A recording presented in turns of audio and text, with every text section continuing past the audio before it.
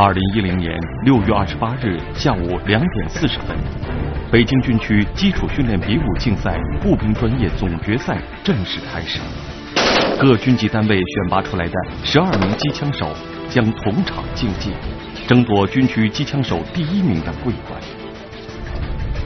此前，十二名机枪手从没有在一起训练过，只是在一周前看场地时才照了面，因此他们之间互不了解，各自的实力也只能是靠猜测。我觉得你今天这么多单位的人啊。这些人往那一坐，你心里面肯定有你觉得威胁最大的对手。嗯，有那几个身材非常魁梧。哪个单位的？不知道，卫戍区的，北京卫戍区。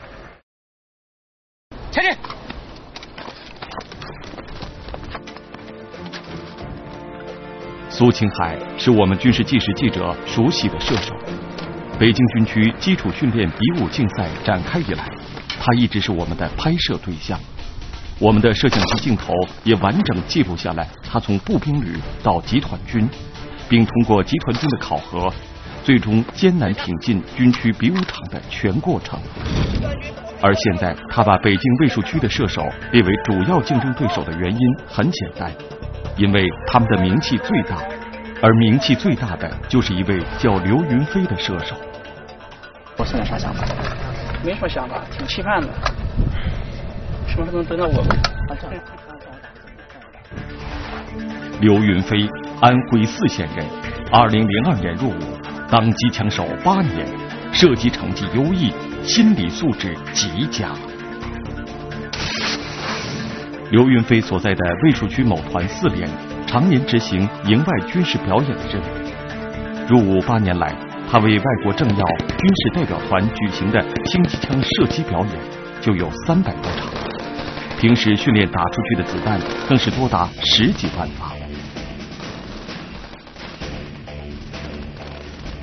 其实，不管是刘云飞还是苏青海，他们都是各自军级单位的训练尖子，从某种程度上代表了所在部队的训练水平。参加比武的部队个个都是战功赫赫，谁都不比谁差。而这一天的总决赛又必定会排出一个名次。虽说不会有人依据这个比武结果给每支部队的步兵战斗力水平排名，但机枪手们可不想因为自己发挥的不好，给整个部队拉了后腿。他们每个人的精气神儿早就提上来军区指定的仲裁人员。到仲裁席，对，其他人员请到各自的单位离开场地。呃，是有有单位上车上车，没没车的那个自己找地方，不要在厂区里面了。这天以前，这十二名机枪手曾经历了多次严酷的淘汰考核，他们的一些战友仅仅是因为一两发子弹的微弱差距被淘汰出局。如今，这十二名射手从基层部队一步步杀入了军区比武场，他们每个人都拥有自豪和骄傲，但和想象中欢声雷动、锣鼓喧天的比武场不同，除了裁判员，所有人都被请出了场地，在场上孤零零的只剩下了他们这些射手。这一刻，他们的身上不再笼罩光环，他们是普普通通的士兵。步兵比武的轻武器射击靶场位于军区比武场的西南角，紧靠大山。在等待比武的时候，无论怎么看，刘云飞都显得特别沉稳。当兵八年，经历无数次营外军事表演，让他早已具备了应战各种比武竞赛的心理素质。你觉得今天天气适合打射击吗？相对来说应该适合吧，因为这段时间天天气总是雾蒙蒙的，今天相对来说还是好点。唯一的不利条件可能就是呃灰尘比较大一点。军区比武场由装甲兵训练场改造而成，地面大多是适合坦克行进的土路，而机枪手的待命区就在坦克道边上，车辆一过，扬起的灰尘弥漫一片。而这个情况会不会对射手们的比武有影响呢？那灰尘为什么会影响射击啊？因为这个准星缺口，如果是上面如果沾了灰尘的话，它就会增加厚度，所以说你的瞄准点可能就会偏低，是这样的。我们看到有的射手正在用棉签擦拭准星缺口，而刘云飞则用了一个很独特的办法，将机枪保护了起来。啊，拿着纸给它包上，过会上膛打枪的时候不会影响射击。和老道成熟的刘云飞不同，苏青海似乎没有把灰尘太当回事。不，他是他的事，跟你们讲。我就这性格，我就这么做事。我现在我就要回归我自己，我没必要跟别人学，我是什么就是。其实，年轻好胜的苏青海并不是对比武不上心，他觉得在这时更重要的是保持良好的放松心态。天时地利人和，什么也没占。我感觉就这样。第一，他是我的跑不了，不是我的强求不来。现在我不想这样，我只要把我自己应该做的做好。的确，良好的心态一直是苏青海的制胜法宝。他在军区基础训练比武竞赛活动展开之前，从步枪改打机枪还不到四个月。但他却一路过关斩将，走上了军区的比武场。在等待比武的时候，我们发现刘云飞观察场上地形一直都特别仔细。我现在在琢磨呢，琢磨每琢磨每名射手和每个地形应该怎么卧倒。大赛之前，每一名选手都会分析情况。等待射击地域里，选手之间坐得很近，因为有竞争关系。我们本以为刘云飞不太愿意细说，怕对手知道情况，但是出乎意料，他却显得很大方。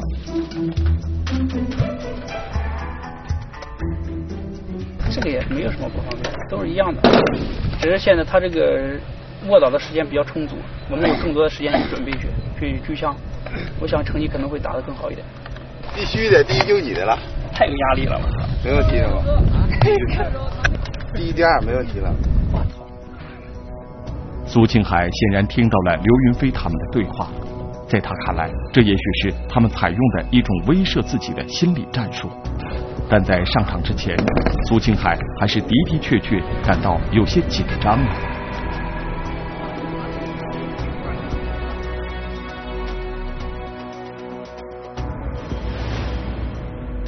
步枪手的比武整整进行了一个半小时，接下来就要轮到十二名机枪手上场了。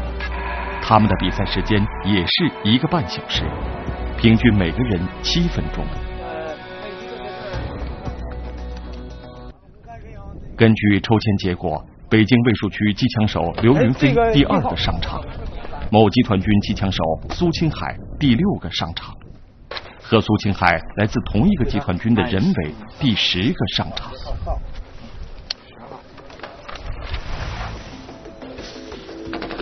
北京军区基础训练比武竞赛步兵专业机枪手的比武科目有信息化基础知识、轻机枪分解结合和应用射击。这一天下午，机枪手们要进行轻机枪分解结合和应用射击的比武。指挥官通知，射手李飞前来竞赛，请指示。结合准备。是。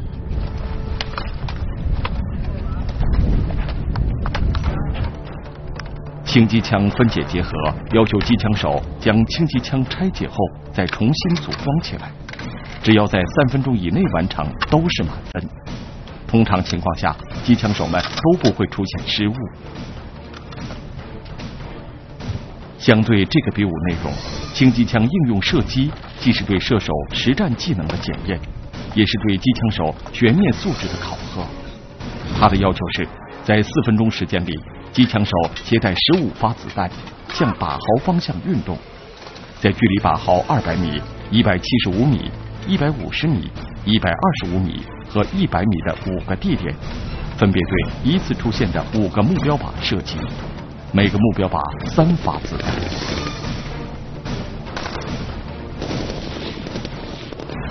临上场前看了前一个出场的机枪手的射击，刘云飞对这一天的应用射击做出了分析。我觉得最后一个最后一个小靶子可能要稍微难打一点，头靶。对，因为它是俯那个仰角度数是比较大，差不多有二十度仰角的度数。其他的其他四个靶位应该都是都是比较好打的。这就是刘云飞所说的靶子。五号目标靶的靶尺有二十五厘米长，五十厘米宽，也被称为头靶。刚才第一个出场的机枪手打五号靶时脱靶了。为了不影响机枪手的正常发挥，我们记者也被限定在这块区域拍摄。由于这里位于选手出发线的后面，因此我们从这个角度只能拍摄到刘云飞的背影。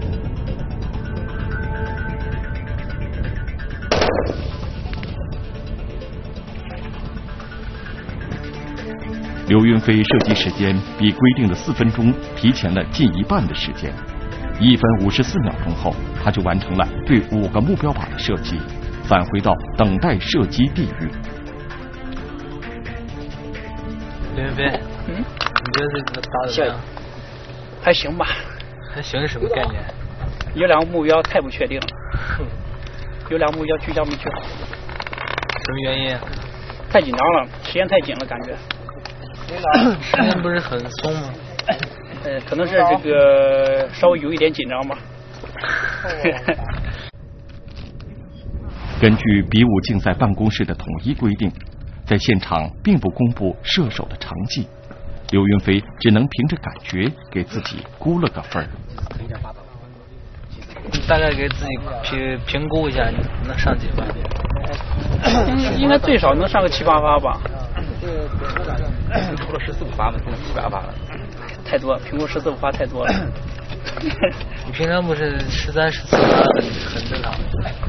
今天感觉吧，感觉就两个目标不不行，会怎么样。但是但是首发肯定不会跑，那电发点射的话就不一定了。那么刘云飞的实际成绩到底是多少呢？最终他的比武排名又是什么呢？一切的答案只能等所有机枪手的射击完成后才能揭晓。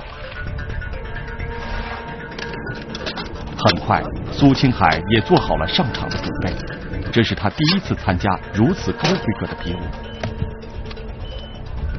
马上就到我了，激动吗？我激动什么呀？你激动不激动？还这么久了，我们还全军覆没怎么办？虽然苏青海说的很轻松，但此时我们猜测，他的内心也许早已定下了决心。如果自己能够在这个比武场上打出平时最高水平十五发十三中，那么所有人都会对他们的集团军竖起大拇指。在比武场上的拼杀是军人的崇高荣誉，苏青海不想在这个时候有任何闪失。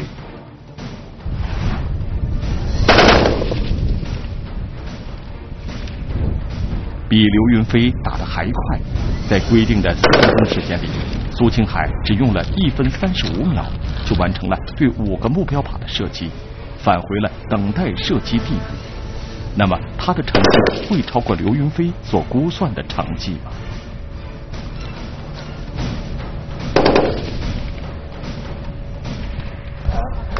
苏青海到，自己感觉打怎么样？感觉十二三发吧。如果真是按照苏青海所说的那样，他发挥出了自己平时的最高水平，那么夺标呼声最高的刘云飞就已经被他拉下了马。可不一会儿，苏青海却神神秘秘的把我们拉到了十米外，他还有话要跟记者说。小瑞啊，说吧，还躲起来？人太多了，别打打。肯定不好，这不用讲。你自己感觉，说实话，能上几发？五发，四发。嗯？四发。我感觉上手法。苏庆海说出的话让记者大吃了一惊。他为什么当着大家的面时把自己的成绩说的那么好呢？不能让对手看出来。感觉适得三发吧。第十个出场的是任伟，他和苏庆海来自同一个步兵旅，他们俩也都曾把对方当成目标，展开了无数次的 PK。两人比拼赶超的训练劲头比谁都足。如今到了军区的比武场，他们代表的是自己所在集团军的最高水平。为了不让任伟的情绪受到影响，苏青海可不想在任伟面前说出自己打得不太好的秘密。他盼望着任伟要超过刘云飞，把军区比武的最高荣誉捧回来。一次失败不算失败，我对我自己有信心。虽然说我没打好，但是呢，我相信任伟和郑开华肯定能打好。轮到任伟出场了，他打的速度也相当快，一分四十秒，任伟就完成了对五个目标靶的射击。你们都上几发？我现在手最快啊！嗯，你感觉我能上几发？啊，上几发？对啊。我不会看。十发左右。十发左右。哎，我看你们你们你们是不是也请了教练？还行吧。总共用时一个半小时，一场令人感到有些窒息的轻机枪应用射击比赛终于结束。当裁判员把十二名射手的成绩通报给各部队的带队干部时，参赛选手也基本上清楚了比赛的结果。刘云飞排名第一，十五发子弹命中五个目标，没有脱靶，上了十发子弹。苏庆海和任伟没有发挥出平常的最佳水平，成绩一般。反正如果不出意外的话，应该是第一吧。所以说，如果明天我留着考一百分的话，也呃，拿第一应该是十之八九。此时，刘云飞的脸上充满了自豪。这一天，他顺利通过了应用设计的难关，意味着刘云飞夺得军区轻机枪比武竞赛第一名，已稳操胜券。而在这场轻机枪巅峰对决中，刘云飞出现紧张，十五发十中的成绩和平时训练相比下滑了不少。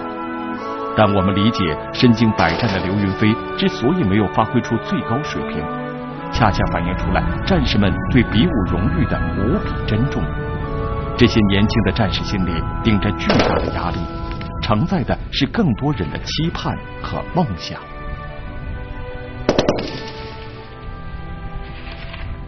因为我觉得这段时间我的技术有了一定的提高，以后我回到我的原部队，我就可以把这把这些体会交给下面的战友。我一点遗憾都没有，真的，我现在一点遗憾都没有。因为我打过，我我我我打出不好成绩，我知足，我拼搏了，然后我学习了，打出了过好成绩了，我已我我已经，我打过首发，首发受中。人为此时的心情，我们完全可以理解。对他来说，努力就是成功。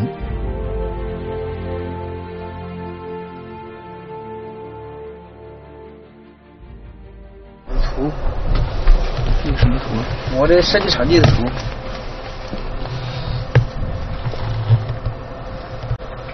我研究了它，我自己的设计位置，我我设计程序我都都都都都写过。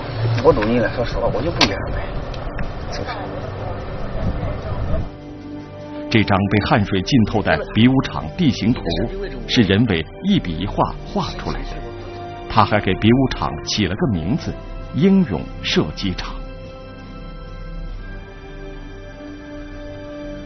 我们连续记录了六周的步兵专业机枪手的比武，就这样结束了。各军级单位的训练尖子也将陆续回到原部队。北京军区基础训练比武竞赛开展以来，无数官兵激情勃发地投入到轰轰烈烈的训练热潮中。从基层连队到进军军区比武场的过程中，他们在军事素质得到提高的同时，更激发了他们的训练热情，他们的士气高涨，信心满怀。